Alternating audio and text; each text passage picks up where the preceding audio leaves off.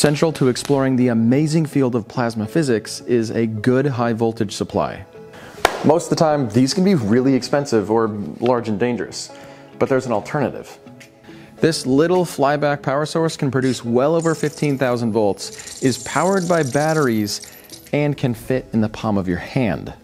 Subscribers definitely asked for it, so this is your official handheld high voltage supply.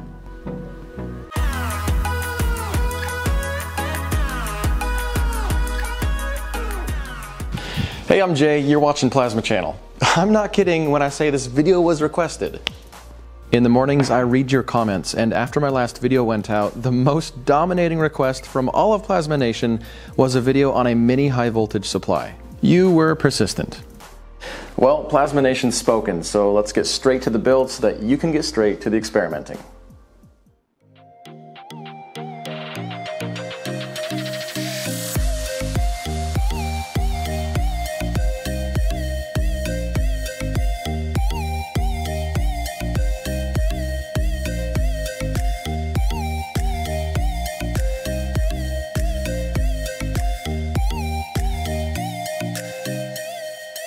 The goal is to copy what I used in my previous video, so we're gonna do just that.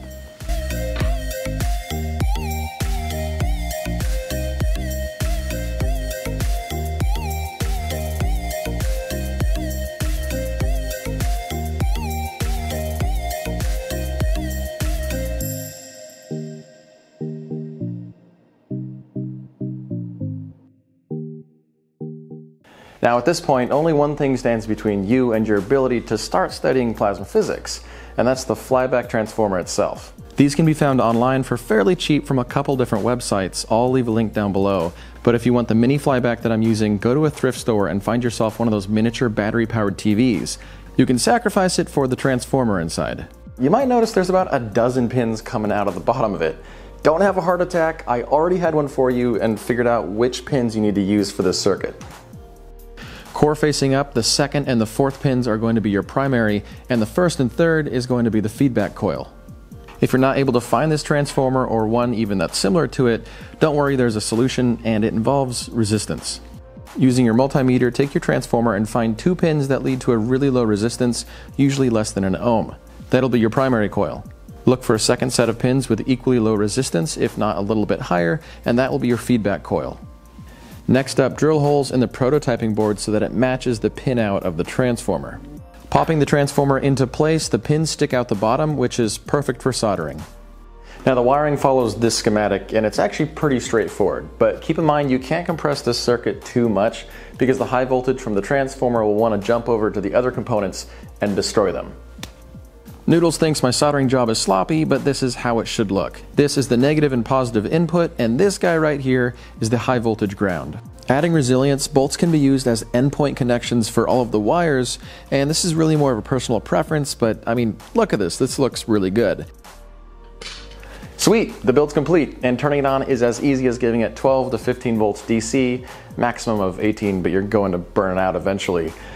And you've got your high voltage. Adding a base for stability actually makes a huge difference and you can see from the four different angles that this sucker is built to last. But before turning this on, remember to be safe and use the one hand rule at all times. It saves lives.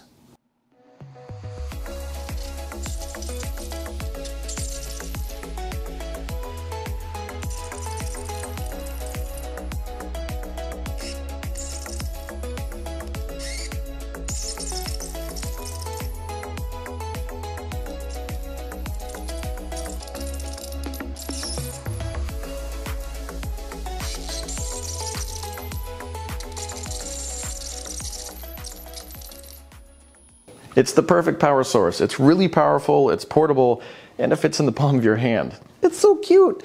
As always, I'd love to know your thoughts on this project, so leave a comment down below. I do read most of the comments. Also, thank you to all the Patreons who continue to support my work, and thank you for watching.